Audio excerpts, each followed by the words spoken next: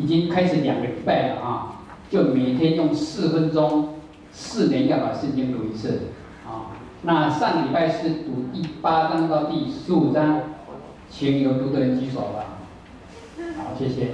没有读的人没有关系，你们回去一天读八分钟就赶上了。啊、来，这个礼拜回去十六章到二十章，一天读四分钟就读完了啊。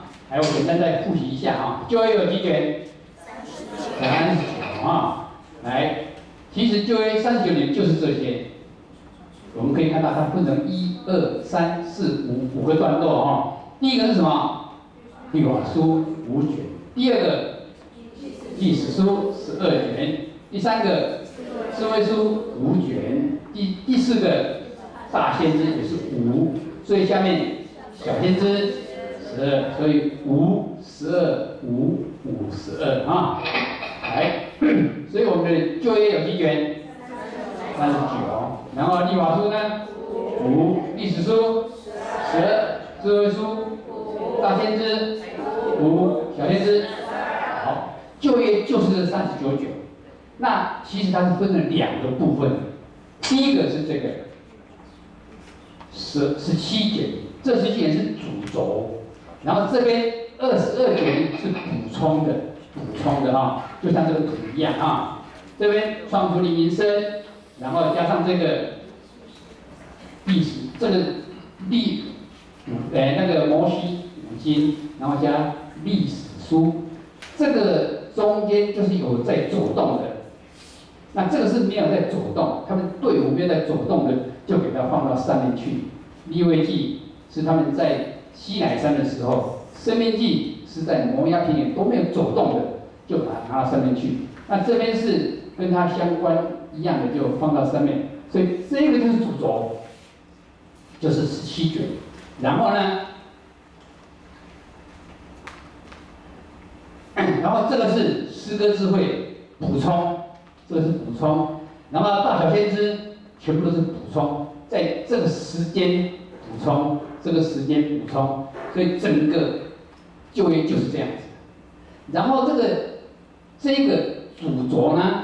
我们用一个简很简单的图来表示哈，这个就是创世纪从这边开始，然后开始走走走，都有有时间在走，就就是用图哈，然后到这边到埃及，然后出埃及，然后在西乃山这边立位记它没有动，然后民数记，然后到这边书约书亚记、诗诗记，然后一直走到分南北国。北国被掳，南国被掳，然后被掳归回，圣经就到这里，就业就是这样子啊。好，这个大概今天复习到这，下期就没有复习了哈。好，我们说读旧约，我们分成五个部分，我们从律法书开始来。律法书就是摩西五经，我们先从第一本创世纪开始。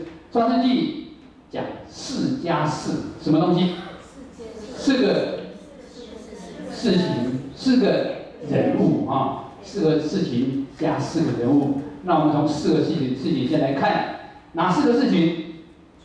创造、堕落、洪水、巴贝塔，就四个事情啊。然后哪四个人物呢？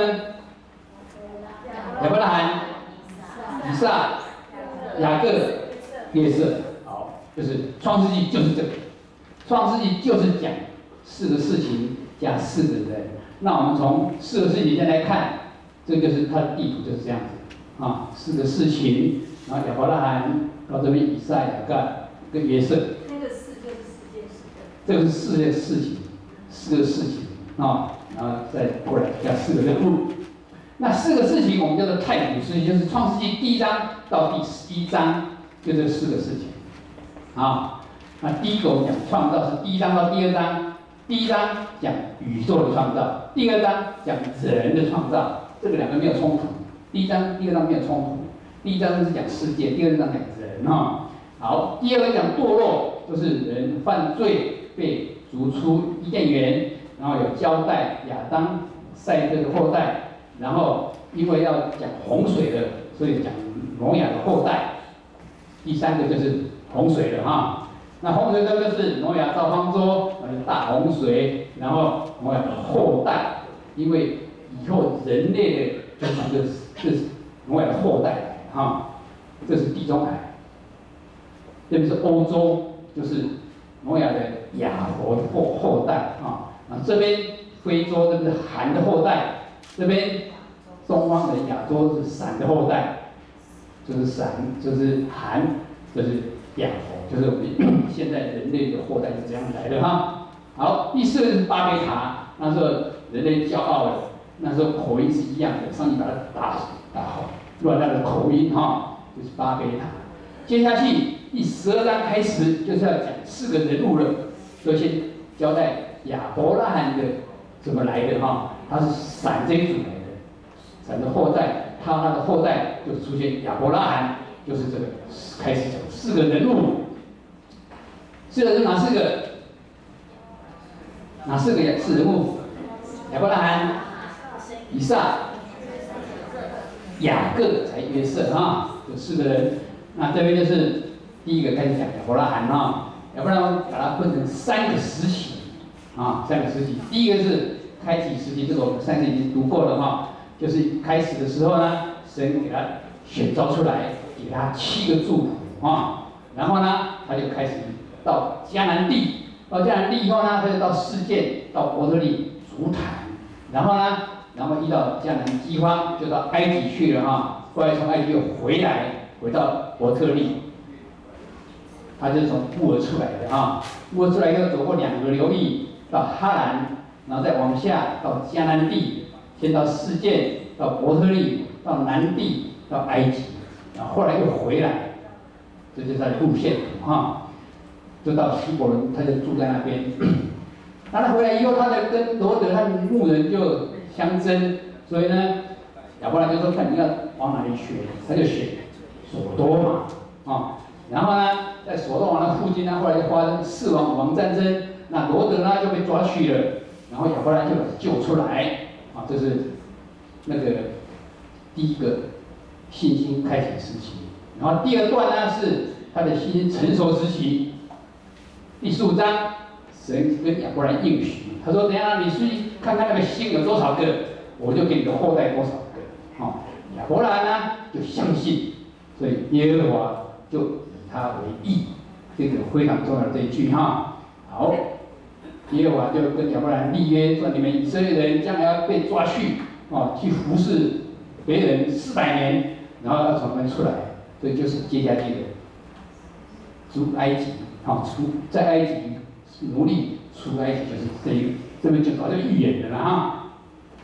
这里要回去就是要从十六开始哈。好，要不然的太太不能生啊，然后呢，就他就把夏甲给亚伯兰当妾。然后就生了，啊，就怀疑，后来就看不起，撒撒拉啊，然后呢，莎拉就去跟亚伯拉罕讲，亚伯拉罕说你 看你要怎样对待他没关系，他就把他虐待，所以他就跑了，下来就跑了，跑了以后呢，天使叫做你回去，啊，然后他就回去，但是给他祝福，还是给他应许哈，他说你获益也也也有很多，你会生一个孩子叫做以实玛利。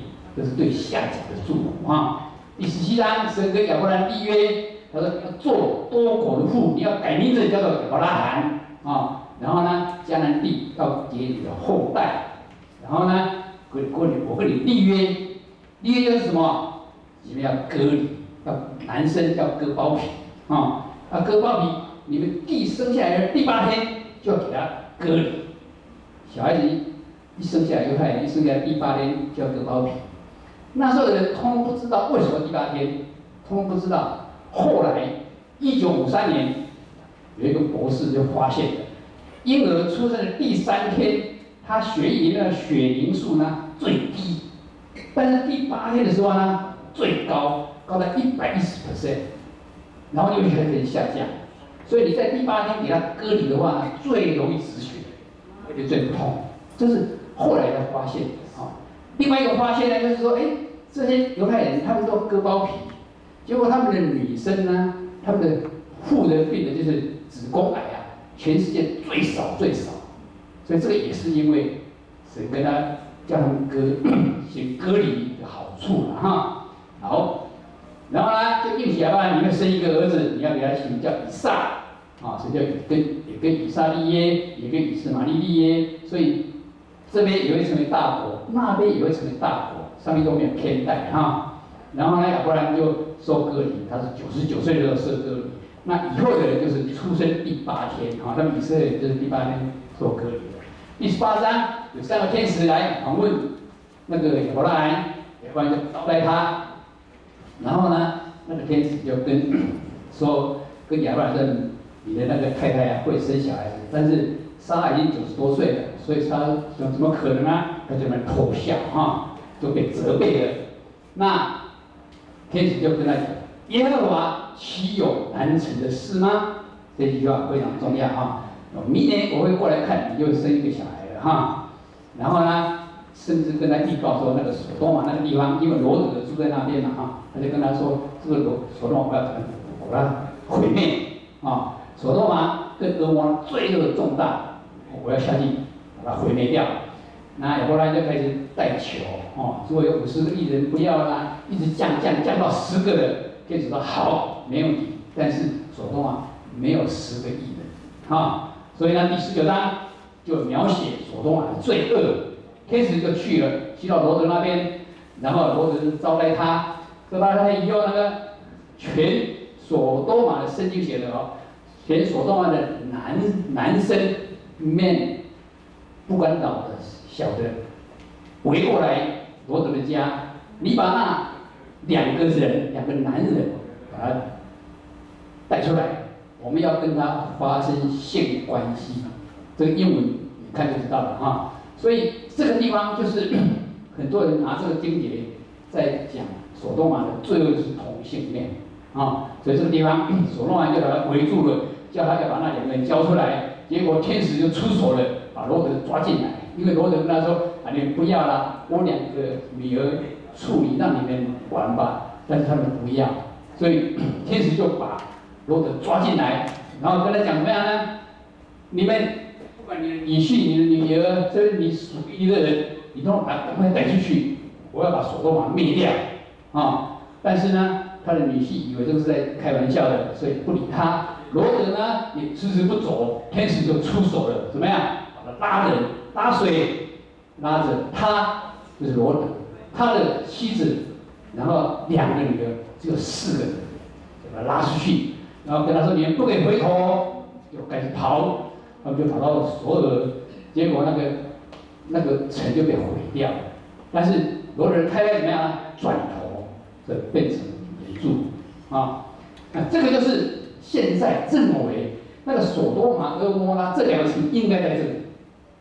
在死海的底下，以前可能是这里，啊，这两千多年前，他们认为这应该有城市，这城市可能掉下去的，所以这附近呢，可以看到很多什么，像这种柱子的地方，那甚至有人认为是这个是罗德的太太，但是他们以色列不把他这个当罗德太太，他们找到一个更像的罗德的太太，在这个地方，在哪里？就是这个。好，所以你们现在去以，要带你去看这个哈，我的太太。然后呢，只剩本来是四个人被天使拉出来，一个被人连住了，就剩下罗德跟他两个女儿，这三个人。他两个女儿认为他这样子没有后代，所以呢，两个女儿呢分别啊父亲灌醉，跟他同房哈。结果呢，大女儿就生了儿子叫做摩押，老二的生叫做贝雅米。但是这个摩押就是摩押人的祖先，这个贝扬就是亚门人的祖先。